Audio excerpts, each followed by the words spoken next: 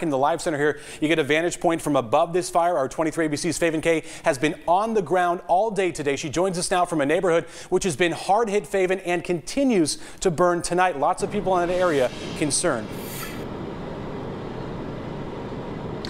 Tim, that's right. We've been here since about 4.30 this morning. We're now looking at what firefighters will be facing throughout the evening. These embers that are burning along the hillside. Now, luckily, these homes in this neighborhood that have been evacuated have so far are safe, but firefighters are now working. As you can see above, we see different spot fires burning above. They tell me their main concern is putting those fires out so they do not burn any more homes in this neighborhood. Now, you guys are looking at video from throughout the day. Several homes burned down to the ground right in front of our eyes, not destroying complete neighborhoods, instead burning one home, skipping the next, burning another, then skipping maybe two or three. A lot of folks did stay behind. They say that they were hoping to keep their homes safe. You'd see them with water hoses in hand. We have firefighters from dozens of agencies throughout the state jumping in, trying to save what homes that they can, stopping embers from flying and starting more fires. But when you walk through this neighborhood, I, these neighborhoods, it's jaw-dropping to see just how how many homes have been reduced to char